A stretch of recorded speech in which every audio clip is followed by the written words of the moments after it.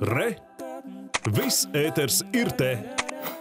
Bet stāstot par pēdējo laiku aktualitātēm Rīgas pilsētā un arī citās pilsētās Latvijā, jāsaka, ka darba pilnas rokas pašlaik ir alpīnistiem, kuri kāpj uz māju jumtiem, notīrīt sniegu un arī nodauzīt no jumtu korēm bīstamās lāstekas.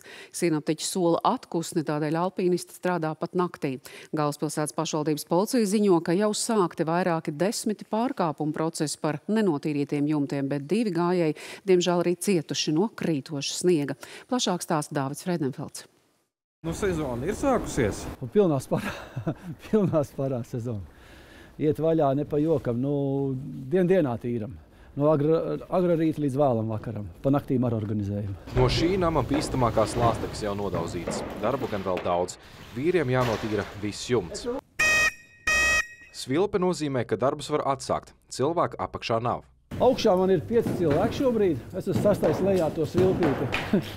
Un e, tīram jau no deviņiem. Nu, es domāju, sešos varbūt beigsim.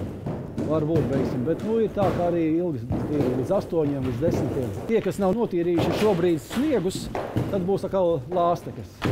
No, tās ir visbriesmīgākās. Sniegs jau tur tā, viņš ir patīkams daudz maz, bet nu, Lāstekas ir briesmīgi. Es tā galvu grozu, jo man jāstāsta visām pusēm. Tur ir zobārsniecība, tur nāk klienti iekšā ārā, ja man tas ir jāvaktē. Rīgas jumtus vaktē arī pašvaldības policija. Līdz šim no jumtiem krītošs sniegs un lāstekas traumējis divus cilvēkus un bojāts vairākas mašīnas. Līdz šim sākti 74 pārkāpumu procesi par netīrītiem jumtiem. Sots Rīgā juridiskām personām par nenotīrītu jumtu ir līdz 1400 eiro.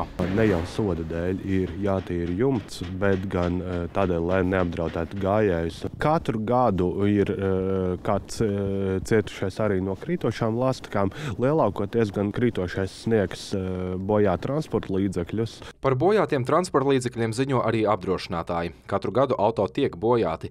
Dažreiz tik nopietni, ka izdevīgāk auto norakstīt nekā remontēt. Pāris gadījumi bijuši, ka tie bojājumi ir tādi ļoti nopietni, ja, kad ir bojāts jumts, transporta līdzeklis nav pirmā svaiguma, nu, tad, tad, tad tas remonts sanāk dārgāks nekā tā transporta līdzekļu vērtība. Minimums būs pāris simti. Tas ir pats pats, pats minimālākais, ja, kas ir par viegliem skrāpējumiem. Ja tas notiek vai veistikls jāmaina, kaut gan arī veistikls var būt no dažiem simtiem līdz pat pāris tūkstošiem. Tā nu konstanti es teiktu, nu, 700 tūkstoši eiro. Visvairāk bojātu mašīnu gadu ir Rīgā. Daudz dzīvokļu namu iekšpagalmos, kad īpašniekiem nav iespēja auto novietot attālāk no mājas sienām. Dāvids Fredenfelds, Ivans Milovs, Latvijas televīzija.